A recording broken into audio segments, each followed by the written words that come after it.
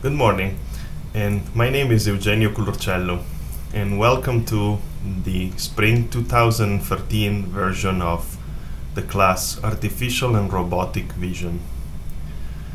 It will be an exciting semester, and we will learn a lot of things about artificial vision, in particular related to uh, bio-inspired vision systems and neural network.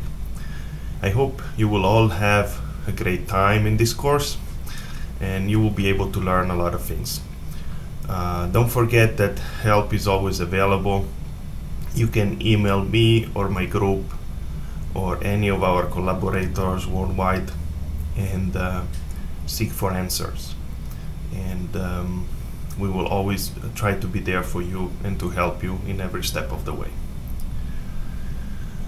So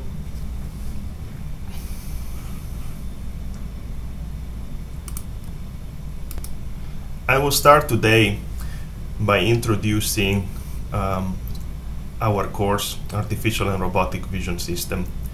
Again, this is Spring uh, 2013 version. And um, I hope that to make this uh, course and lectures available worldwide so that anybody can enjoy them and use them.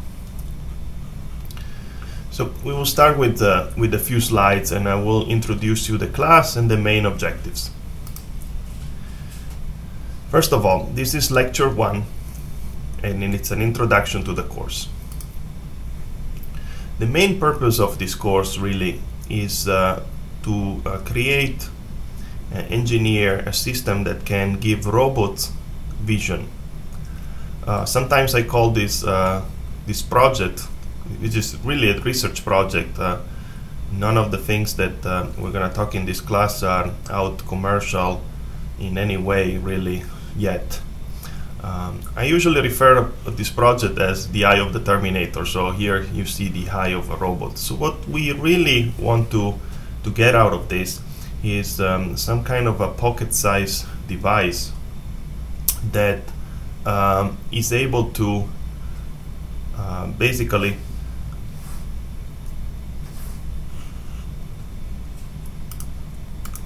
pocket-sized device which is about the size of your cell phone and uh, probably has the same capability of vision that you have. And we'll see that in a minute.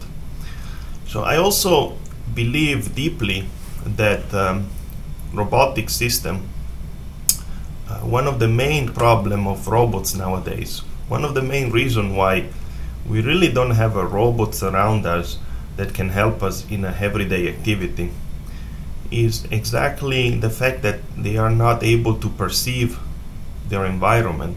They are not able to see the world the way we see it and make decision based on what they see. For this reason, I think um, robot there's a lot of that we have to do and learn in robotic vision systems uh, to try to improve them and make them almost as good as our own visual system, which is maybe one of the best in the known universe right now. There are other problems to robots beside, um, you know, their inability to perceive the environment. I mean, one of them is artificial muscle, as you can see from this slide, uh, which are, you know, there's there's a main difference between mechanical actuators nowadays and uh, their power consumption, uh, and you know physical actuators that are much more efficient and uh, although mechanical actuators um, allow you for a greater variety of movement. I don't think this is the limitation. Right now we have nice robots that can wheel around in a room um, and even if they're on wheels and even if they don't have much mobility maybe they have a simple arm we have them. They are available. The reason why we cannot use them is because they are unable to perceive the environment and they're not safe for humans around them. Another big problem of robots is batteries. Now, of course, you want the robots to run for a long time, and motion in space requires a lot of battery juice, current, energy, in particular power. That's for sure. Um, but that's not really one of the main problem of uh, of robots, I, I would think. I think it's a secondary problem. So, what is the impact and why do we care so much about robotic vision? Well, that's because we really would like to have a robot that can help us in, in everyday activity. We would like to have a robot uh, like uh, this one in this picture that is a healthcare robot that can guide elderly patient or patient that have some kind of a mental disability uh, to, to do their daily activities. Um, we would also like, uh, you know, basically very simple robotic helpers that uh, are able to help you in, in basically every kind of day, everyday activity. If you think about what is the status of robotic in the house right now, it's I think pretty sad in a way. Maybe not sad is the bad word, but at, least dissatisfactory for sure.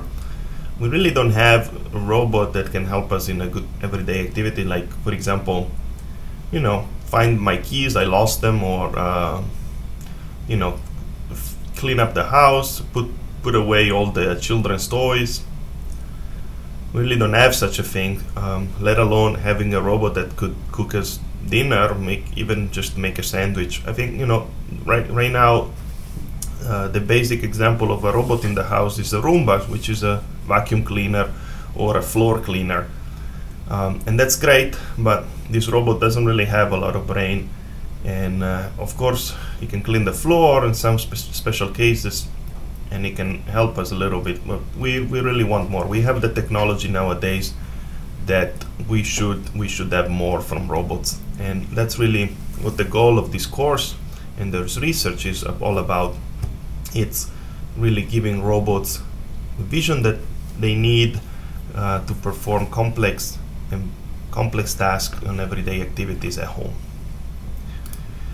Um, of course, you know, having some kind of a artificial vision system that is as small as a cell phone, you know, this little eye of the Terminator, as I call it for fun, it's not just about robots but it could help in uh, a variety of situations. For example, it could enable, um, you know, uh, devices that we use, currently use every day, like a fridge, to know who the user is, recognize him, and uh, selectively give him some information. For example, uh, I know that uh, you're Jane and you usually drink milk at 9 a.m. and unfortunately I wanted to remind you that there's just very little milk left or um, we only have two apples left. I know you like them in the morning. Might seem silly, but such a thing would really help you if we could, for example, send you grocery list to your phone or other things. Um, of course, what we really want is uh, is a smart home, smart system They can recognize you, you know, adjust the temperature based on who, who is in the house, uh, I like it warm, uh, my wife might like it cold, or vice versa. My son maybe don't doesn't want AC, he prefers to have the windows open. I mean, just the silly things, but they are quite important uh, in order to, to save money and um, be more environmentally friendly. Also, control who's in the house, turn on devices, uh, and so forth might seem like sci-fi- science fiction, but this is really uh, behind the corner. We have all the technology for this. We just haven't put it together, and one of the missing components is really recognizing who's in the environment again.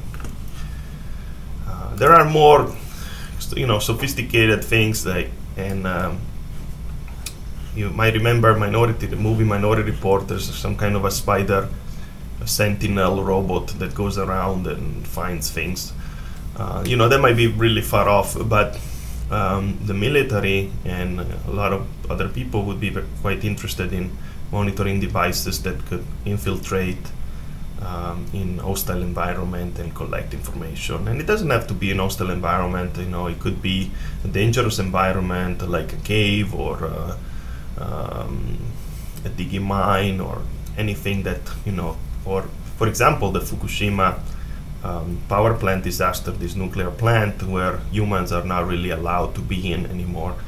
And it would be really great to have a robot that could go in there and, um, you know, and basically report what they see, report what the problems are, maybe actuate some things.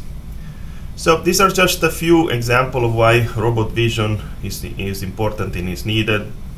Other one is, for example, the Google goggles recently uh, developed by Google. Uh, these glasses that could give you virtual reality information, ex- you know, augmented reality, and if they could see what you're seeing, beside having a location, um, they would be able to really interpret the environment, give you more interesting information. And you can think about a lot of these things. In fact, I really recommend that all of you taking these courses online or listening to this talk to think about these things. And these are very important topics. How you know you, robots with the good vision can be used to improve um, the world. And I really recommend you to think about these things throughout the course and later if you're interested in this kind of research because it's a very important topic and it's going to be a very large very very large market um, so with that um, I think I summarized more or less uh, what the key topics are in uh, robotic vision and um, I'll see you in next class.